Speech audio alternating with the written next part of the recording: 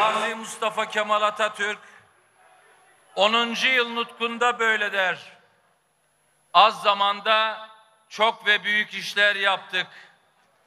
Ve ardından şöyle devam eder. Fakat asla yaptıklarımızı kafi görmeyiz. Çünkü çok ve daha büyük işler yapmak mecburiyetinde ve azmindeyiz. Azmindeyiz. Hazır mıyız İstanbul? Hazır mıyız?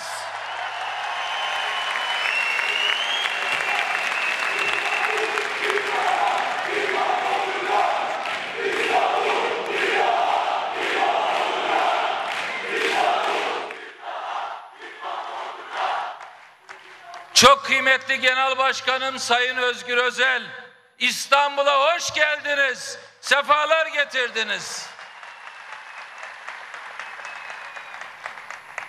Önceki dönem Genel Başkanımız, çok kıymetli il başkanımız, Cumhuriyet Halk Partimizin değerli grup başkan vekilleri, parti meclis üyeleri, genel başkan yardımcılarımız, milletvekillerimiz, Cumhuriyet Halk Partimizin kıymetli İstanbul yönetimi ilçe başkanları, misafir il başkanlarımız, siyasi partilerimizin kıymetli temsilcileri, Türkiye'nin farklı köşelerinden İstanbul'a gelip bize eşlik eden kıymetli yol arkadaşlarım, yoldaşlarım, siyasi hayatımın her aşamasında bana yol gösteren birlikte olduğumuz kıymetli dostlarımız, iş, emek, kültür,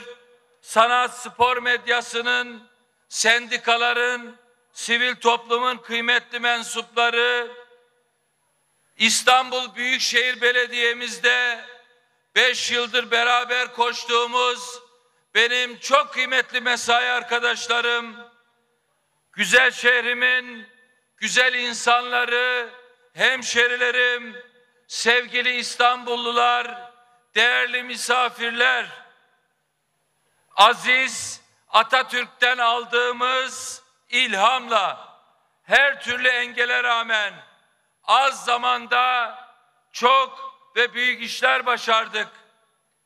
Bunca engele rağmen başardıklarımız bize güven ve cesaret veriyor. İşte bu cesaretle bir kez daha İstanbul Büyükşehir Belediye Başkanlığı aday tanıtım toplantısı için karşınızdayım. Beni oy birliğiyle ilan eden, aday ilan eden partimizin genel başkanı saygıdeğer Özgür Özel'e, parti meclisi üyelerimize ve yetkili karar organlarında bulunan dava arkadaşlarıma gösterdikleri büyük güven ve beni destekledikleri için, yanımda bugün oldukları için hepinizin huzurunda teşekkür ediyor, saygılarımı sunuyorum.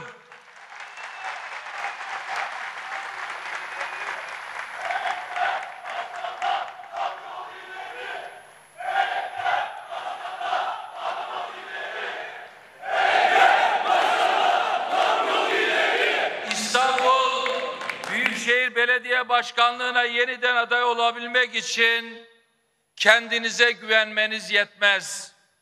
Ekibinize, partinize, örgütünüze, vizyon, vizyonunuza ve elbette ki en başta 16 milyon İstanbullunun aklına ve vicdanına da güvenmeniz gerekir. Öncelikle bana bu güveni hissettirdiğiniz için ayrıca teşekkür ediyorum. Sizlerin sizlerin iradesiyle 2019'da bu şehirde köklü bir değişim başardık. Sizlerin desteğiyle biz başardıkça onlar 25 yılda yaptıklarını her gün ama acemice her gün hararetle bizim dört buçuk yılımızla kıyaslamak zorunda kaldılar. İnanın bu başarı hepimizin başarısıdır. Başarı İstanbul'un başarısıdır. Tüm inancımla söylüyorum ki İstanbul olarak hep birlikte başarmaya devam edeceğiz.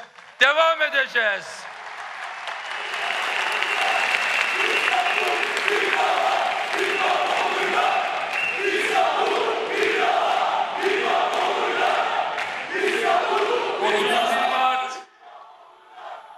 2024'te sizlerin iradesiyle İstanbul'u yeniden kazanacağız ve Allah'ın izniyle daha büyük işler başaracağız.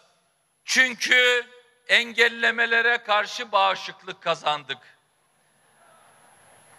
Hizmet ürettik, tecrübe kazandık. Artık artık küçüldükçe küçüldü o engelleme refleksleri. Toza dönüştü görmüyoruz onu artık. Önümüze çıkartılan zorlukları ve engelleri aşağı aşağı ustalaştık.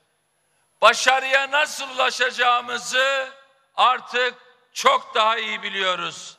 Sevgili dostlar, her yerde şunu söyleyin. İstanbul başardı. İstanbul başardı. Daha çok